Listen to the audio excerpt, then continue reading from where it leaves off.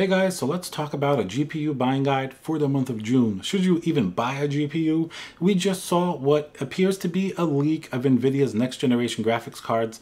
Looks pretty cool. Who knows what the specs will actually be? So let's get into it and let's talk about it.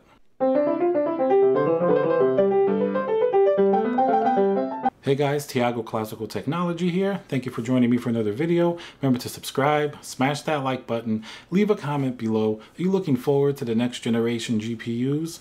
Alright, so every month we've been doing a buying guide on GPUs, and the further we get into the year, the more that it just becomes just wait and see what's going to be coming out from NVIDIA. Now, we've been seeing some teaser images recently with a very sort of revolutionary looking GPU design. In fact, they're saying just the cooler for these GPUs, maybe upwards of $150 depending on what the GPU is. So that's definitely going to mean that we're not going to see very low prices at all. Of course, with every generation, the price seems to go up and up.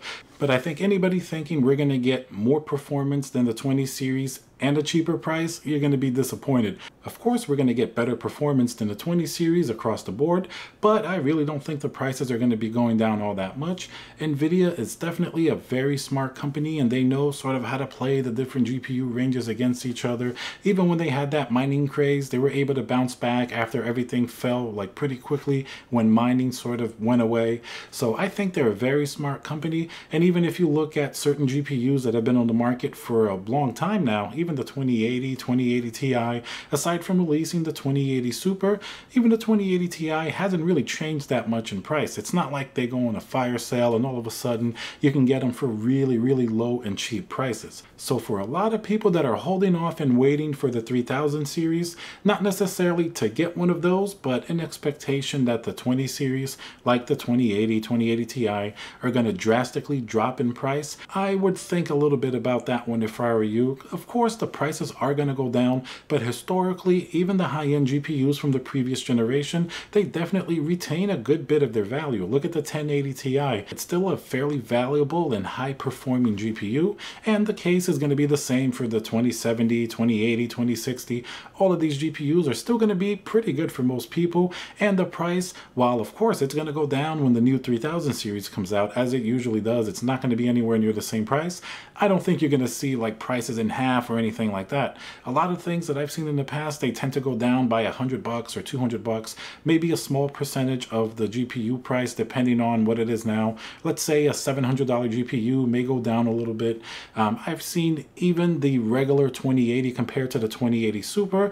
It's not like it went down to like half price or less or anything like that. It's just maybe a couple hundred dollars less. So I think the same thing is going to happen. So I think in terms of pricing, probably the same thing's going to happen. Yes, we're going to get better performance with the 3000 series, but no, I don't think that the prices of current generation is going to drop drastically. And the new generation, there's a good chance it may be a little bit more expensive or at least the same price of the high-end GPUs now or whatever the top price is. Now, so here comes the question.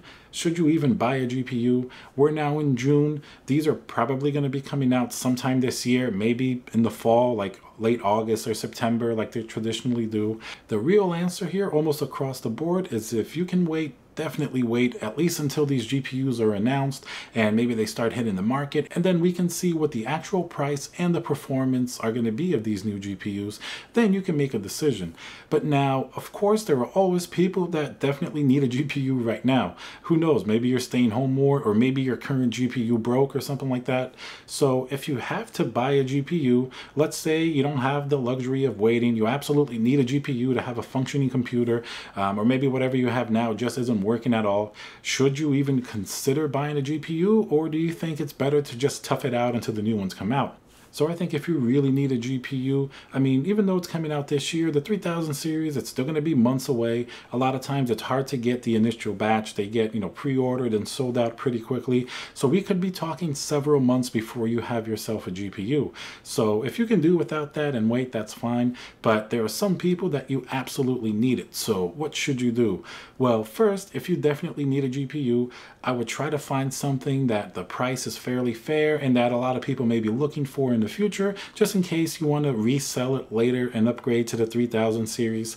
Most likely, I would avoid trying to buy something like a really high-end GPU, like a 2080 Ti or something like that, just because those, because of the higher price and less people having the money to buy them, there's a pretty good chance you're going to take a heavier loss on those, depending whatever else comes out. While if you buy something like a 2060 or a 2070 Super, most likely, yes, the price, of course, is going to go down, but you won't take as big a hit as you will with a much more expensive GPU. And something like that should be more than enough to hold you over if you do want to upgrade in the future.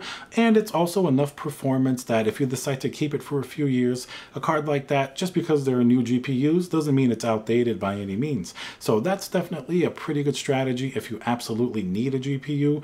I would get something in the mid-range, maybe a 2060 Super, 2070 Super, and of course that's considering if you're playing at, you know, 144 hertz refresh rate or you're doing a little bit more high-end gaming. Of course, if you really need a GPU and you're just doing 1080p and you don't really need that much performance, then of course you can look to the cheaper GPUs like the 1660 Super or even AMD's 5700 or the 5600 XT. Something like that should be able to tie you over as well. But here, I think for most people, if you need a GPU, but you can wait. I would definitely stretch it out because we're getting really close to more announcements. We're getting different leaks and different teasers coming out. Um, so who knows how the performance is actually going to be. It's definitely going to be an improvement.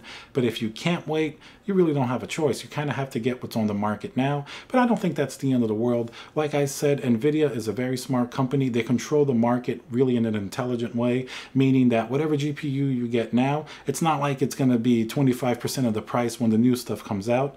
This stuff definitely holds holds its value fairly well. The GPU is one of the most important components in the gaming PC. It's everything that people get excited about. So if you guys go back and watch last month's video on the GPU buying guide, of course, the big difference now is that we're getting closer and closer so my overall recommendation is definitely wait, wait until these GPUs are announced, wait to see what's going on. If, if you have a GPU where it's pretty playable right now, it's not the end of the world, I would hold off on upgrading until we get more information. And when that comes out and the prices start going down a bit for the 20 series, then you can make a pretty good decision. Maybe you can buy a last generation GPU for a little bit better price and you're okay with that performance.